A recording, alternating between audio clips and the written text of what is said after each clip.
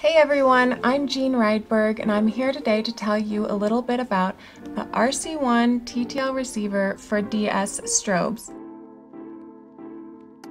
The RC1 attaches to almost any Ikelite DS series underwater strobe and provides TTL operation with a wide variety of Olympus and Panasonic cameras like the super popular Olympus TG6. Check the link in the description of this video for compatibility. The RC1 is useful for Ikelite housings as well as those by Nauticam, Aquapazza, Recsea, and others. So what does it do? Basically, you're giving your camera a remote control for your underwater strobe. Just turn the strobe on and the camera will tell it how much to fire for perfect exposure on each photo. But better photos aren't the only advantage to the RC1. It also extends the battery life of your camera because it doesn't use as much energy to fire the flash in the special flash mode. This will allow you to take more pictures faster. This is particularly useful if you're shooting a quick moving subject like a turtle and want to get a few shots off before it swims away. So, now that we've decided to use the RC1, let's see how to attach it to our system. I'm going to show you with the DS51 strobe, but you could also use one of our professional level strobes like the DS160 Mark II, the DS161, 162, or DS230 strobes. What I'm going to do is remove the protector cap from the plug end of the RC1. And once I remove it, I'm just going to set it aside and do the same thing with the bulkhead cap of my DS51 strobe. Now you can see that the bulkhead on my strobe and the plug on the RC1 are both using black colored aluminum fittings. If your strobe has a silver colored brass bulkhead, you're going to want to take special care to avoid the newer RC1 from seizing up on your strobe's bulkhead.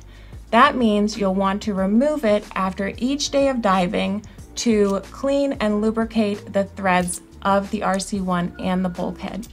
Since I'm using all aluminum, I could leave this attached through pretty much my entire week of diving before I'm done with my trip and I want to disassemble my gear and clean it and put it away.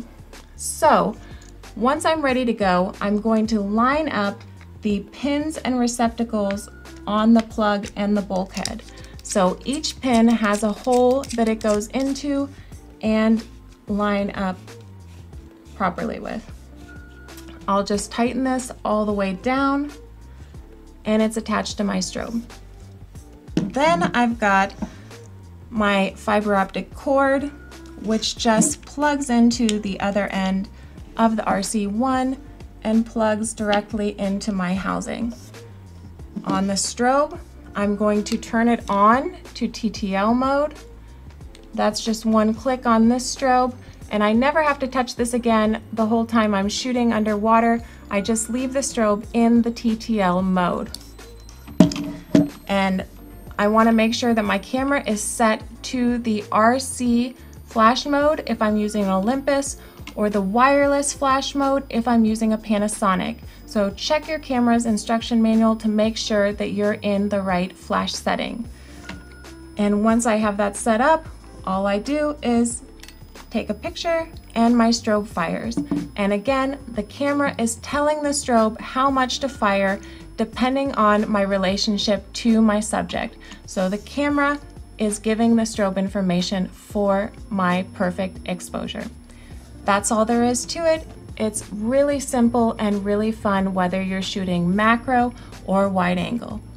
So have fun shooting your RC1 and if you have any questions about setup or want photo advice, please email us at ikelite at ikelite.com or leave a comment on this video and we are happy to help you with anything that you need related to underwater photography. That's it. Happy shooting!